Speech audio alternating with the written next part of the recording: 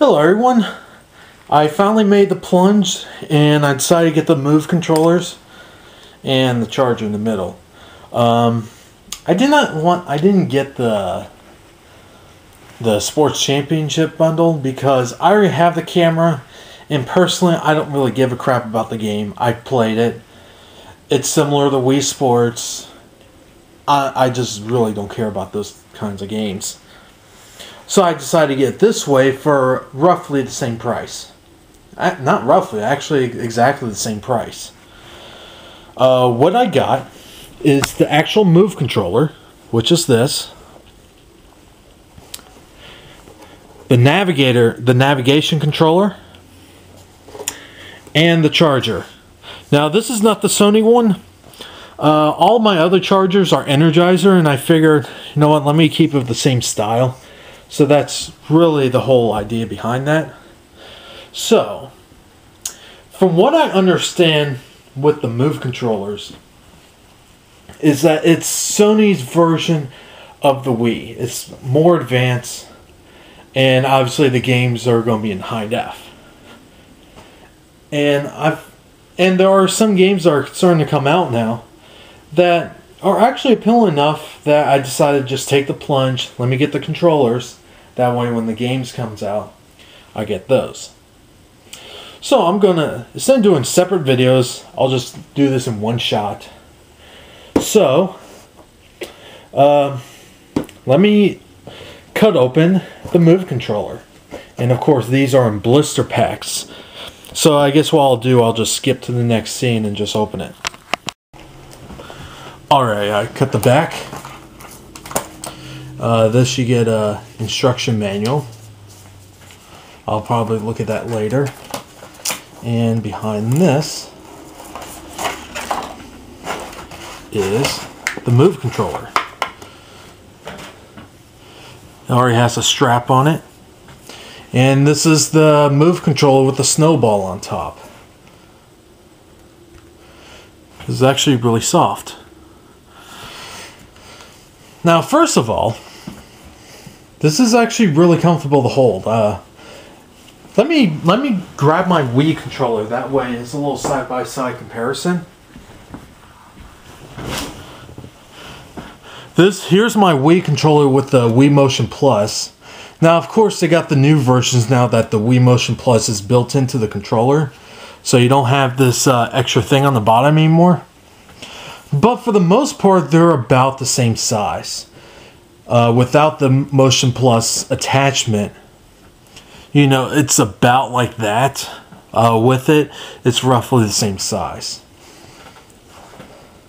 Now the Wii controller is doesn't feel bad in your hands, but because these controllers are more just for that for motion-based gaming, because obviously with the Wii, they kind of design it this way. That way you can hold it on its side and use it like an NES controller. Well, the PS3, you just use your DualShock controller. So they don't have to make it in a way that you turn it on its side and use it like a gamepad. Just use it strictly as a motion controller, which makes sense.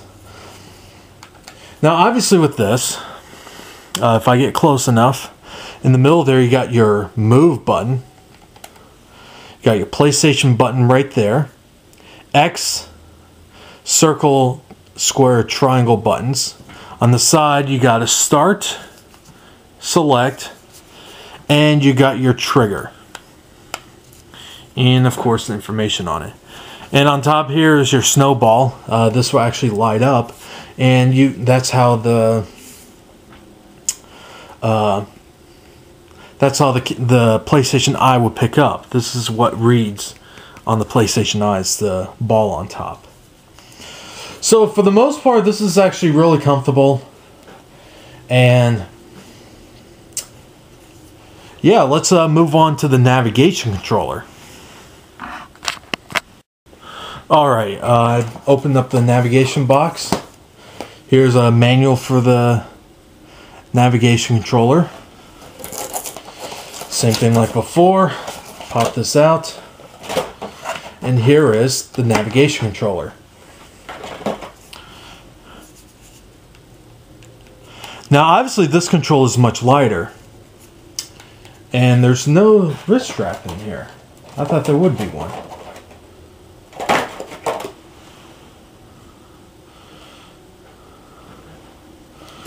Huh, okay.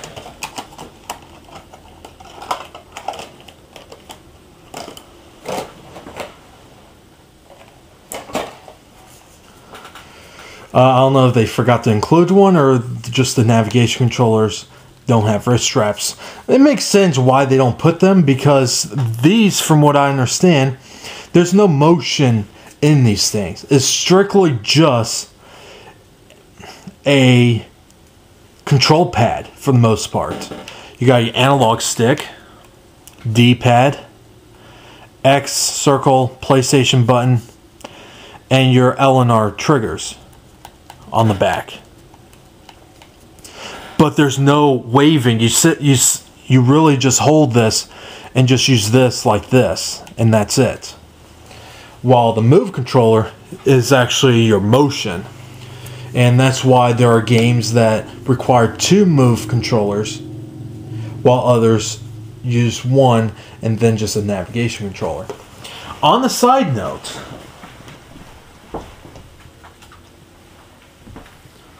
on the side note, you don't have to get this.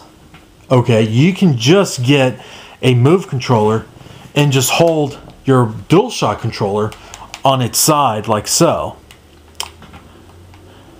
And so essentially what you'll be doing is this. But for me, I was thinking about just doing it this way.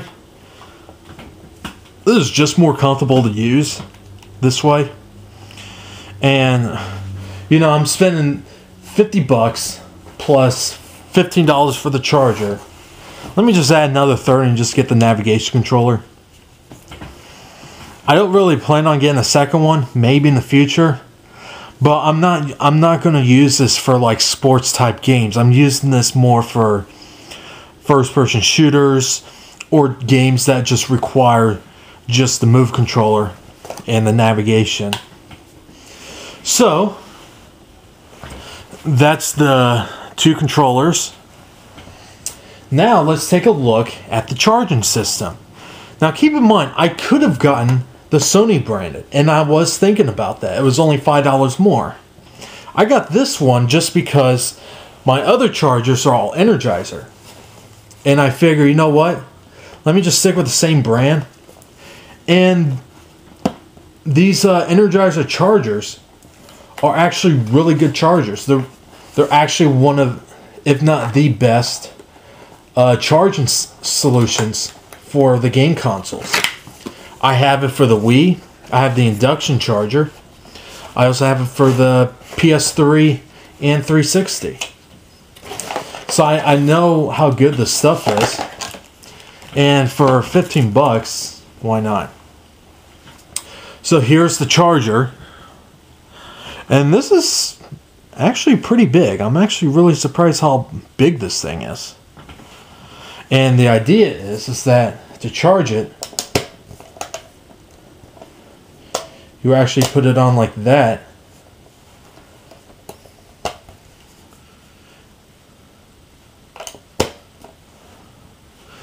And then when you want the move controller,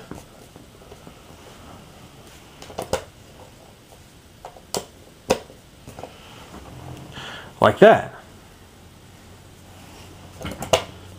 And of course, they do work.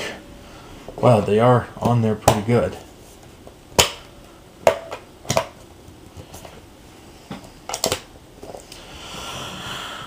So yeah, that there it is. Um, I'll try this out. I'll try this charger out for a while. Uh, if I don't like this, I can always return the charger and get the Sony one. But the Sony one is not as big as this. I'm actually kind of surprised.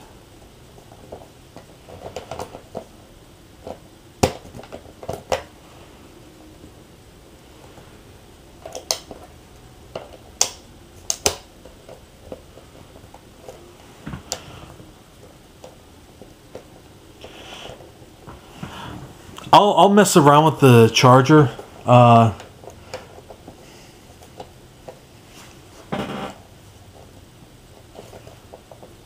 hmm.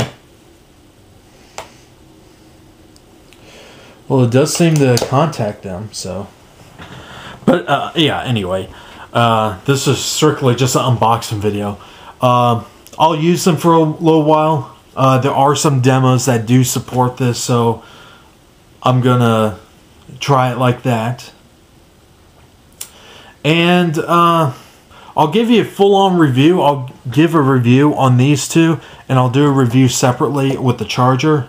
If I say this this particular Energizer charger is not really that good, I'll let you know. If it is good, I'll let you know too. But that's pretty much it. Like always, have a good one.